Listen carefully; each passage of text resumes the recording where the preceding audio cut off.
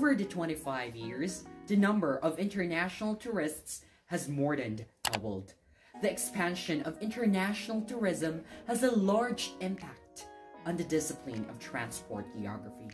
In a fast-changing aviation world where privatization, alliances, and increased competition are global realities, airlines still need to cooperate in order to offer a seamless product of the highest possible standard.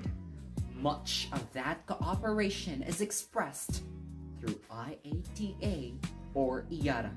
So what is IATA?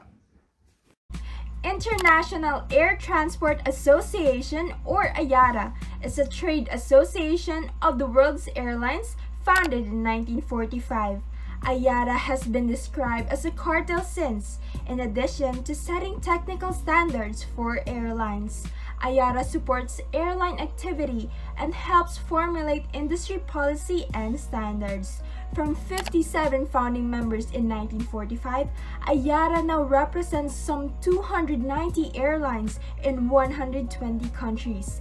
Carrying 82% of the world's air traffic, IATA members include the world's leading passenger and cargo airlines.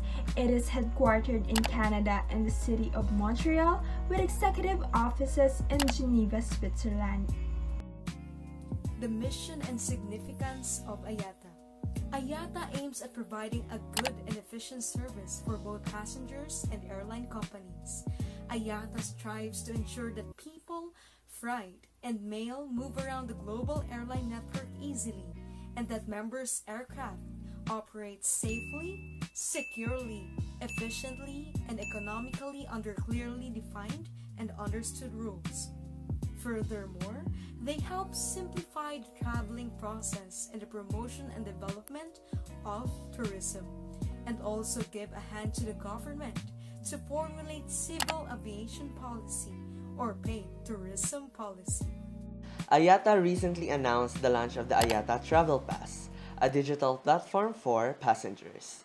Despite mounting losses, the industry focus is on how travel can restart at scale when borders are finally reopened and huge pent-up demand is released. According to IATA Director General Alexander de Juniac, he said that they need a plan for the recovery and that they will need a way to digitally manage health credentials and secure global standards to record test results and vaccinations. IATA said its Travel Pass, which will formally launch at the end of March, will help to facilitate travel by putting COVID-19 test results and vaccine certificates in one digital format, speeding up check-in process. de Juniac said he is hopeful the recovery will happen in the second half of 2021.